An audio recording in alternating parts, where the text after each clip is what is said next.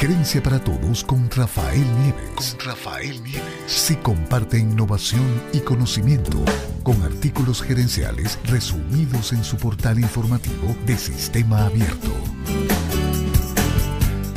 Seguimos en Gerencia para Todos, la primera iniciativa de economía, gerencia y mercadeo en Venezuela. Recuerden seguirnos en nuestras redes sociales, arroba gerencia todos en Twitter, arroba gerencia para todos en Instagram.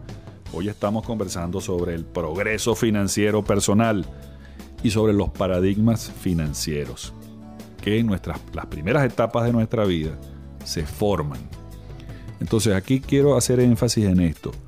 El dinero debe servirnos para los fines personales. El dinero sirve para nuestras vidas.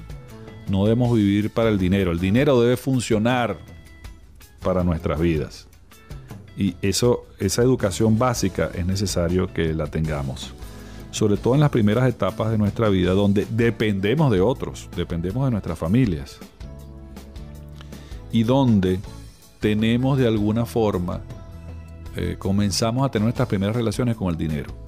Hay muchas personas que están alejadas de esto, en las primeras etapas de su vida están únicamente estudiando, reciben quizás una mesada y es necesario que la administren adecuadamente.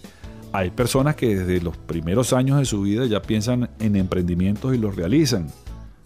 Muchachos que la famosa eh, el famoso ejemplo de la venta de limonada, porque está en todas las películas y está en, está en Hollywood y está en la mente de muchas personas. Muchas personas recordarán sus primeros emprendimientos y muchos, muchos siguieron su emprendimiento, otros lo abandonaron y se dedicaron a otra cosa. En la segunda etapa hablamos de quizás el comienzo de la independencia financiera para algunos.